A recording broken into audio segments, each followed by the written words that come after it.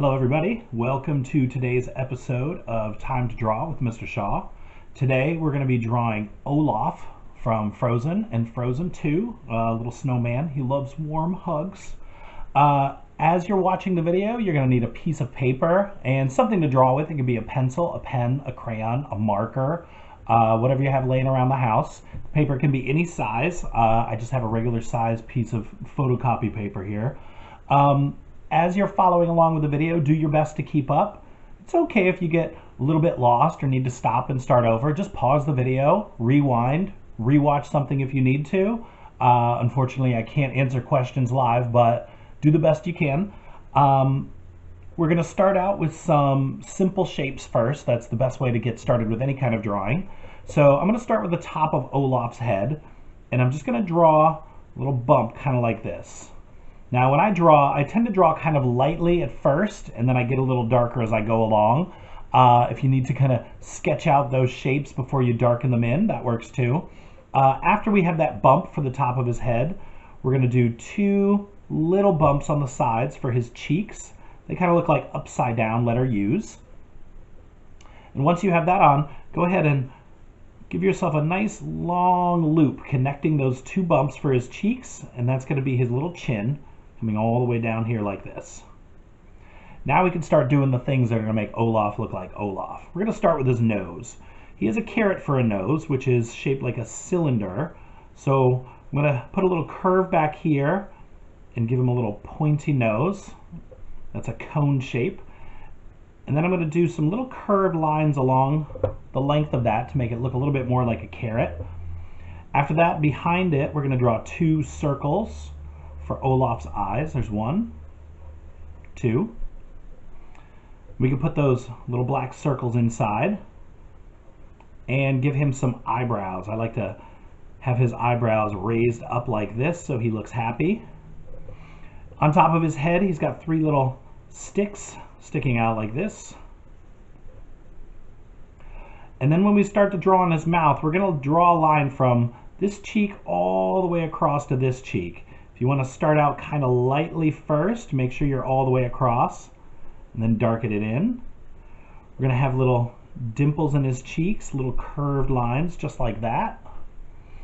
And then we're going to draw a nice big curve going from corner down and all the way back up to that cheek. So draw that nice long curved line. And then he has one big tooth, kind of shaped like a roundish rectangle coming out from the top of his mouth here. So that's Olaf's head. Now we can get onto his body. He's got two big body shapes. One of them is kind of like a loose circle. And then a larger circle underneath it. I'm going to draw them a little crooked because I want Olaf to look like he's kind of dancing and moving around and wiggling his body.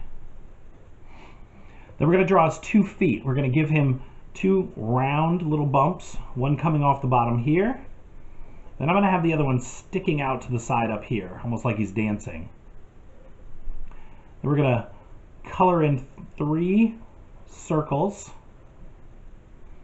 One in his top section here, two in his little bottom section. Those are the lumps of coal. They look like buttons going down his body. And then he's got sticks for hands coming off to the sides, one stick out like this. We can give him a little thumb and one, two, three fingers. And then we'll have his other hand coming out in this direction. A little thumb, and then one, two, three fingers. And that's a nice little picture of Olaf.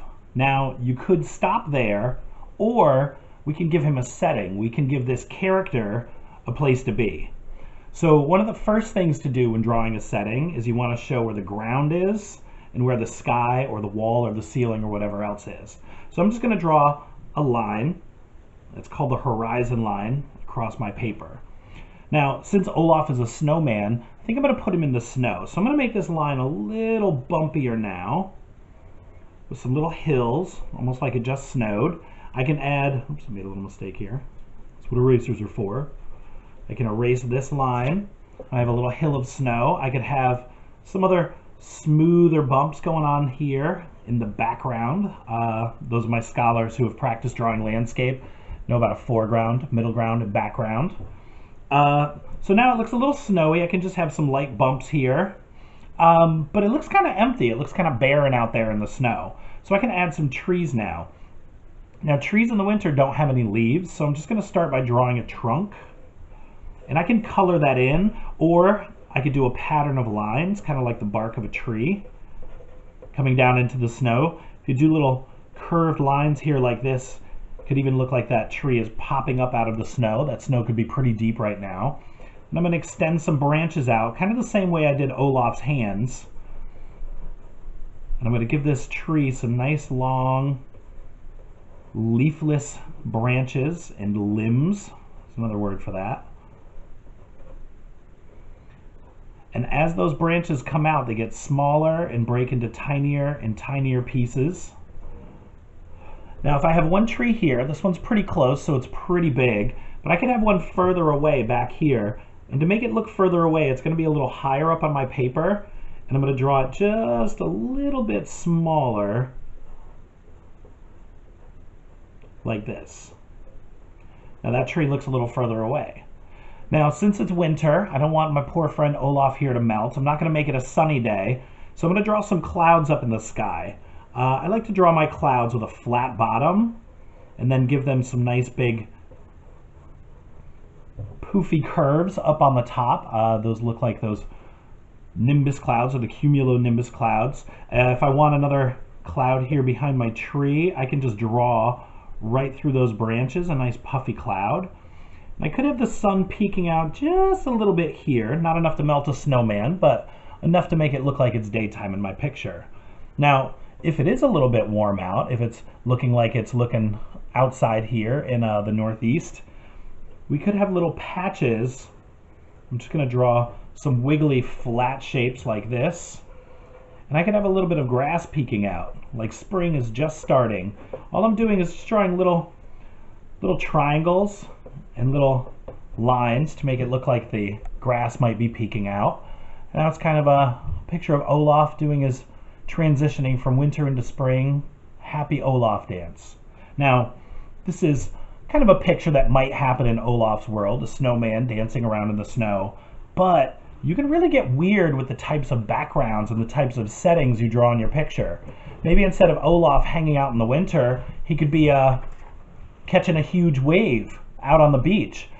Maybe he's not going to melt in the sun. Maybe he can go hang out in the summertime, catch a sick curl on his surfboard. Or maybe you want to send Olaf to space. You could follow the same steps to draw our friend Olaf, but then just change the type of background that you draw. He could be jumping around the moon, doing his dance in low gravity. Or you could even take your drawing, flip it upside down, and put Olaf in a completely different type of position. Now he's doing a backflip off a trampoline in a backyard. So here's what I'd like to see. If you're a Henry Johnson Charter School scholar, please take a picture of the Olaf that you drew in the background or the setting that you chose to put him in. Send that to me on Class Dojo and I'll try to put it up in my next video. If you have any ideas of something you'd like to learn how to draw, just comment below, let me know what you want, and I'll try to make a video for you while we're all staying at home for social distancing. I hope everyone's staying safe out there. Wash your hands, and I'll talk to you next time.